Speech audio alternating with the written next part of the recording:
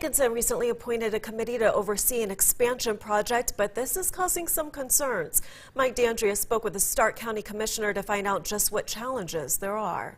The city of Dickinson and Stark County are working together to add an extra two mile radius to the city known as the Extraterritorial Zone, or ETZ.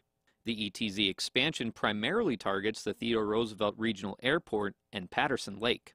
Although it sounds like an annexation of the surrounding area, it's not quite that simple.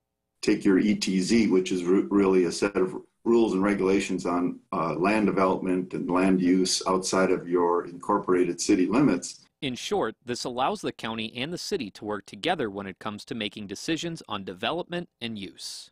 A committee overseeing the project was appointed on October 6th and includes a representative from Parks and Rec as well as a representative from the nearby airport. It also includes two representatives from the city of Dickinson and two representatives from Stark County.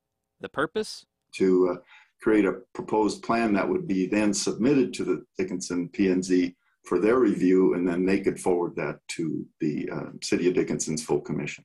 A concern within the committee includes the Marathon Wind Energy Project, which originally is under the jurisdiction of the county. Marathon has a proposed turbine site near Patterson Lake, but under the two mile ETZ proposal, it would not be included in the joint jurisdiction. Uh, if the city would go to the full four mile jurisdiction, it would pull that uh, refinery into the city's ETZ. The four mile jurisdiction refers to the North Dakota City zoning regulations.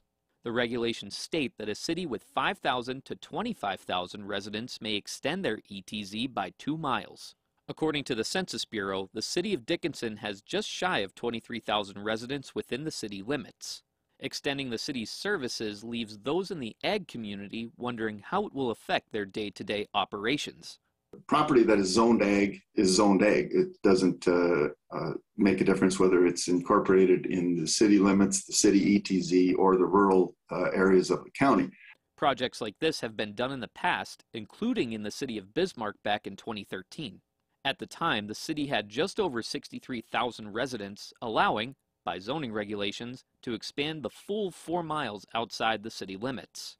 Ben Ehreth, Community Development Director for Bismarck, says the private sector may face more risk with joint jurisdiction. However, from my observation, it's the negotiated boundary um, has seemingly worked worked well and efficiently from from a from a permitting and a review standpoint. Committee meetings are to continue as needed until a resolution is achieved. Reporting in Dickinson for KX News, I'm Mike D'Andrea.